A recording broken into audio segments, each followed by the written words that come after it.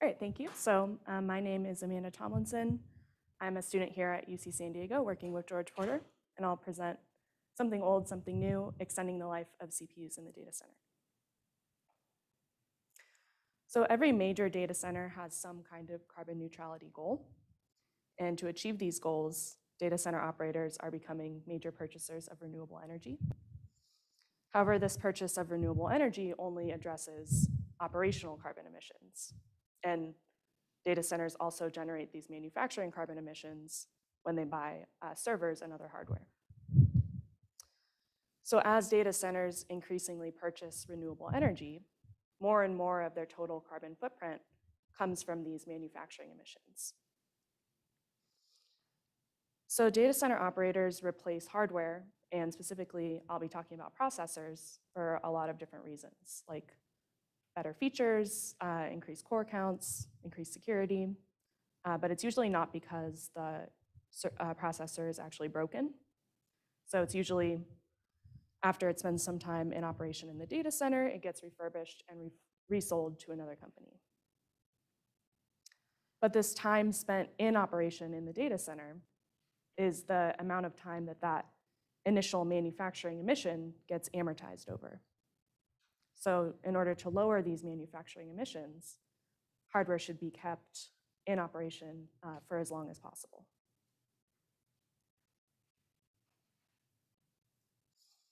So in this research, we wanted to understand how we can increase processor lifespan and keep it in the data center for as long as possible because that's going to lower that amortized manufacturing emission.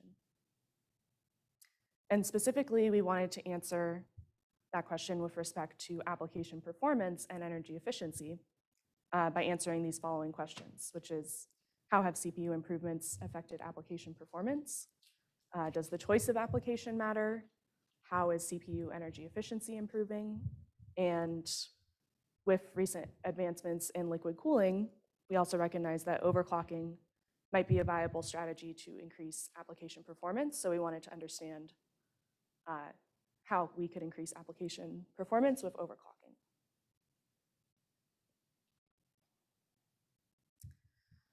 So to answer these questions, we looked at results from a publicly available processor benchmark for Intel server class processors over a 10-year period ending in 2021.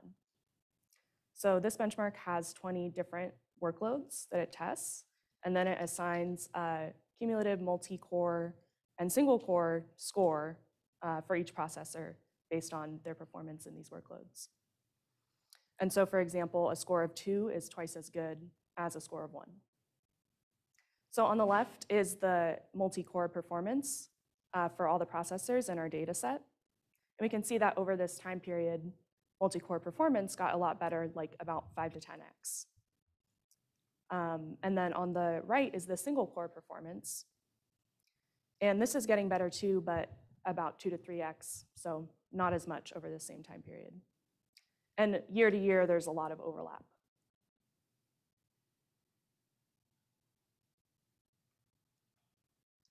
So if we take a closer look at multi-core performance, uh, again on the left for all the processors in our data set, we can see that this increase in performance is driven by the increase in number of cores. So in the middle is the cores per processor, and in 2011, this was a maximum of 10, uh, and in 2021, we're up to 40. So if we look on the right, this is the total multi-core performance divided by the number of cores, and this metric is kind of relatively constant over this time period.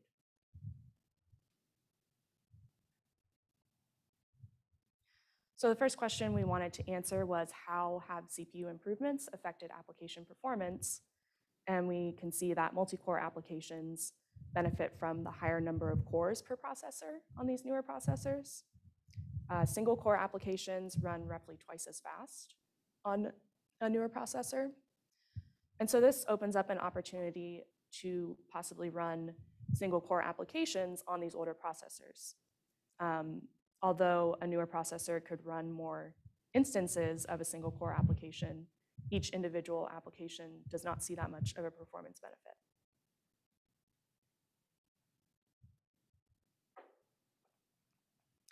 So in addition to looking at these data set level metrics, we can also make an individual comparison. So here's the best processor from 2011 and the best from 2021. We can see that over this time period, uh, the cores went from 10 to 36, and we got a 7x improvement in multi-core performance and a 2x improvement in single core performance. But if we break this down by the actual workload, some of them performed better and some performed worse. So for example, uh, this is multi-core performance and our n-body physics workload saw a 2.7x improvement in performance over this time period. Uh, but the machine learning workload saw an 11 time improvement in performance. So even though the cumulative improvement was 7x, some of these workloads are a lot better and some are a lot worse. We can also look at these two workloads, this n-body physics and machine learning workload, uh, over time to see how they change year on year. And so on the left is multi-core performance. And we can see that this machine learning workload is kind of every year it gets better and better. But the n-body physics workload is basically just staying the same each year. Uh, on the right is single core performance. And besides this big jump from 2011 to 2012, both of these workloads have relatively constant performance over this time period.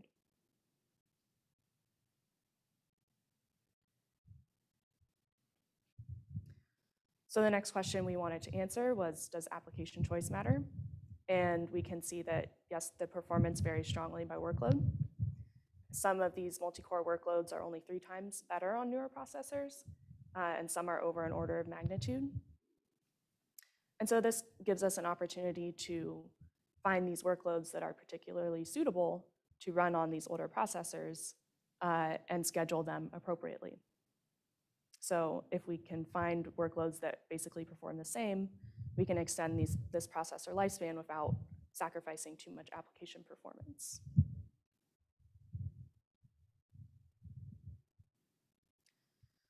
So next we looked at processor energy efficiency. And so on the left is thermal design power. And this is a specification value, which is just the maximum power that a processor can use. And on the right is the multi-core performance uh, for each processor divided by its thermal design power. This gives us a performance per watt.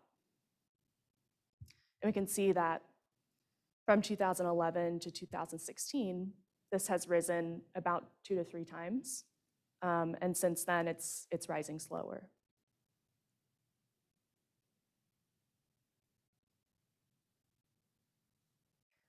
So we wanted to know how CPU energy efficiency is improving. We can see that processors from 2021 are about two to three times more energy efficient than processors from 2011. And so this presents a trade-off between these operational emissions and manufacturing emissions.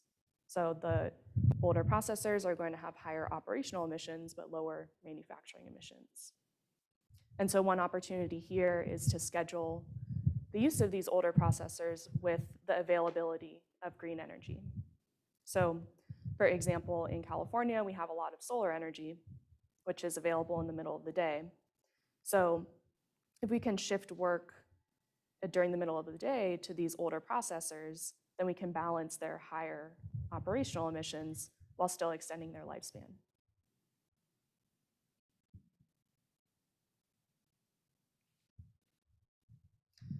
We also wanted to use our data set to see if there was any potential to overclock these older processors and improve their performance. So this is not usually really done in data centers, but with excess green energy and advancements in like liquid cooling, this could be a viable strategy to get more performance. So what we did is we looked through our data set to find pairs of match processors. And these are processors that have all of their specifications are the same except for their clock speed. And then we looked at the multi-core performance uh, to see what the potential speed up would be. And we found that in this rightmost column that we have about 25 to over 100% uh, performance improvement.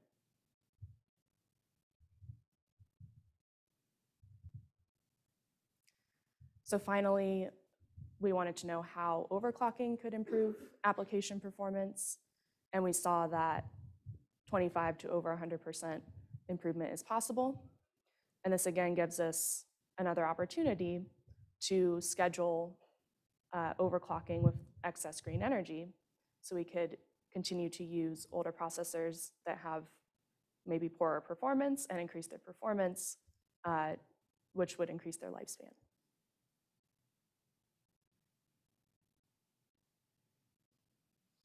So in conclusion, we wanted to understand how we can increase processor lifespan based on these trends in application performance and energy efficiency.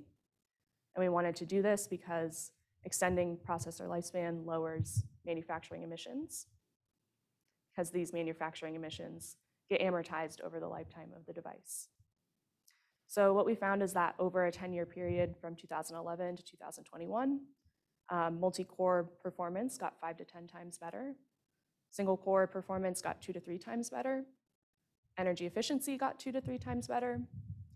Uh, but the magnitude of these increases were dependent on uh, the workload, with some workloads being three times better in multi-core performance and sometimes being uh, over an order of magnitude.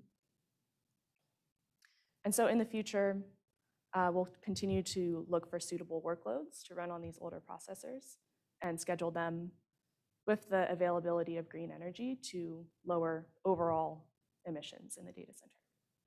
So, Thank you.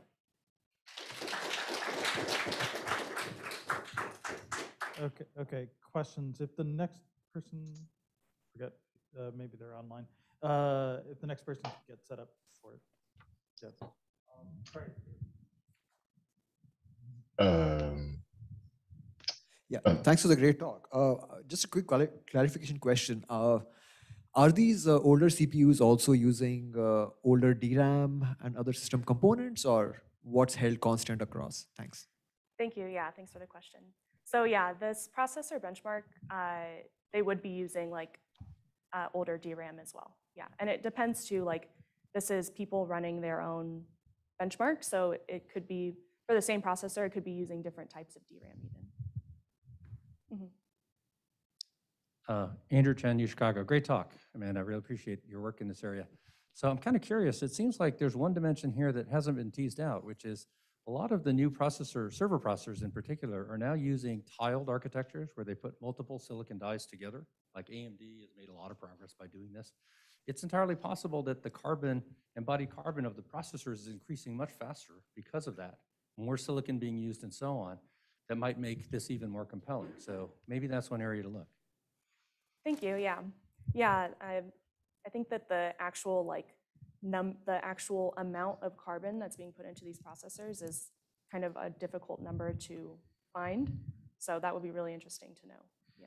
Yeah, uh, one other sort of very quick uh, question that I had was whether you had a, uh, between the 2011, 2021, whether the chip area, how the chip area was, vo- was changing over that period of time. Do you, do you have any data on that? I don't. Okay. No. That That would would also help be a- interesting. answer that question.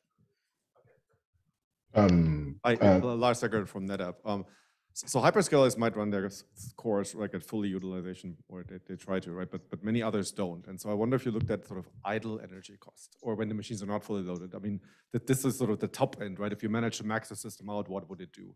But, but most people don't do that. I wonder if you have any data on that. Yeah, uh, I don't, but that's also really interesting because that would change this operational trade-off. Yeah, yeah. Great, okay. Um, Thanks very much. Uh, If you can turn off your mic, that would be helpful. Okay, so we're going to switch uh, uh, computers here for a second, just technical